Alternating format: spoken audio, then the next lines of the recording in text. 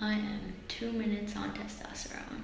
This is my voice, one week on testosterone. This is my voice, two weeks on testosterone. This is my voice, three weeks on testosterone. This is my voice, one month on testosterone.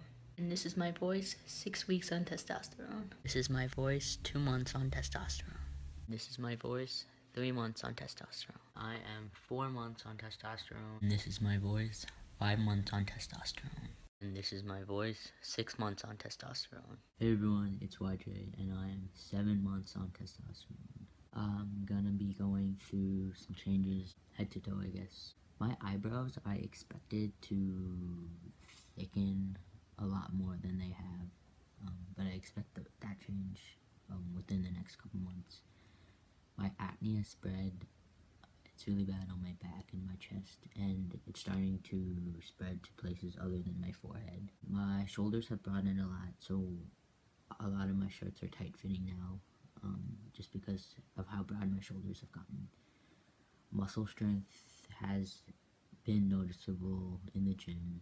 I've been working out, kind of, mostly in the last week. Hair, as usual, um, bottom growth, and libido has been through the roof. But seven months has come really quickly. I am really excited because in a couple of weeks I'm going to be heading up to New York City uh, for a conference for Korean queer and trans folks and that's really exciting because this is the kind of community I've been searching for for the past couple years and didn't even know was a possibility it even existed until this past year really and so to have the opportunity to build community within the Korean American community is really exciting.